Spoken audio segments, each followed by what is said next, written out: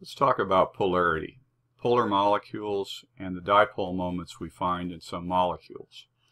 We find this in molecular substances, so forget ionic substances.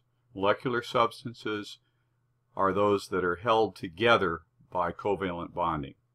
And polar molecules are, in a word, lopsided.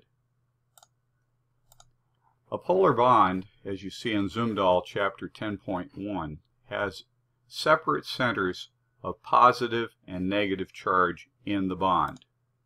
But a molecule with separate centers of positive and negative charge is a polar molecule.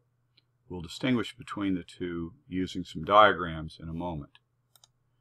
The dipole moment, which is symbolized by the Greek letter mu, the dipole moment of a molecule is the product of the magnitude of the charge and the distance. The distance is the, what separates the centers of positive and negative charge. It's going to be measured in meters. The unit of dipole moment is the debye, and the uh, this charge times the distance is equal to the dipole moment. 1 debye is 3.34 times 10 to the negative 30th coulomb meters. Now, look at these two uh, representations, these for molecular formulas, and see whether you think one is polar or nonpolar. And if you look for a moment, you can see that the hydrogen on one side of this tetrahedrally configured molecule of trichloromethane is clearly polar because the chlorines are all on one side, the hydrogen is on the other. The chlorines are a lot more electronegative than the hydrogens. On the other hand, if you put a chlorine where the hydrogen was to make carbon tetrachloride, the bonds are still polar, but this is point symmetrical around the carbon, and so there is no polarity. Now let's look at two compounds, NOF and NO2F. One of them is heavily polar, the other is slightly polar. Which dipole moment would you associate with each compound? And explain, of course, why you think that. First, it would help if we gave you the structural formula. The NOF is nitrosyl fluoride, and it has this structure. The NO2F is nitryl fluoride and has this structure. Please note maybe you have resonance possible in the Lewis structures. Well, let's look at the numbers. As you can see, nitrosyl fluoride is about three times more polar than nitryl fluoride. Why would that be? Well, first of all, nitryl fluoride has a resonance structure. And as you can see, if you move these electrons around, you could have the double bond between the NO over here. That would be a kind of a symmetrical look at the same molecule. And so if you can have two different structures, that of course reduces the total energy. Now you can see that this is going to have a 120 degree bond angle around it.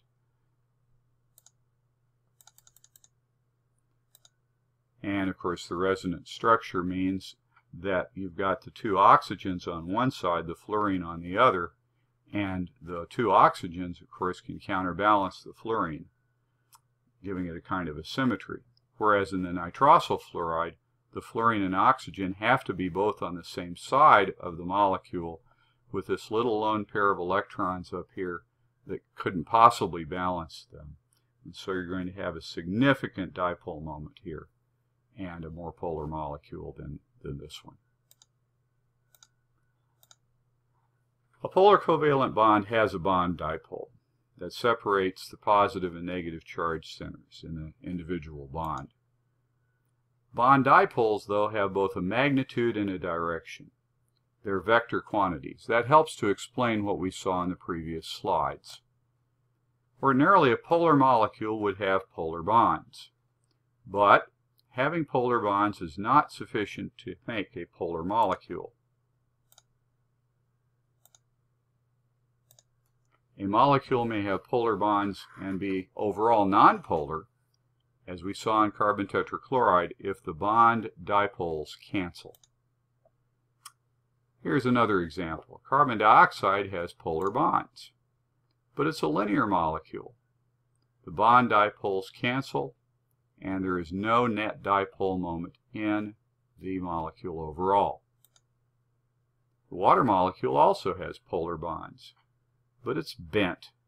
The bond dipoles do not cancel. They're pointing kind of in the same direction. And water is a polar molecule. It has a net dipole with a dipole moment of 1.84 Debye.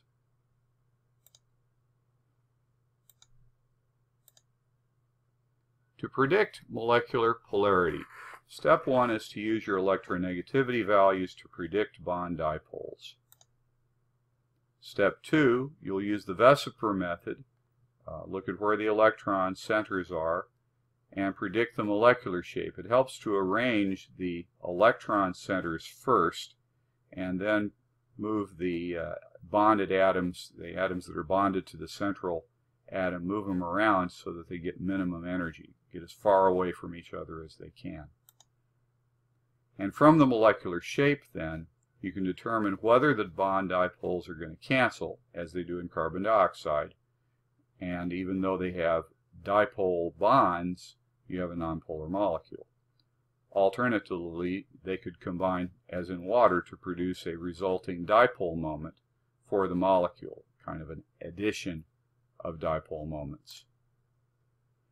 Now remember too that lone pair electrons can make a contribution to the dipole moments of the molecule.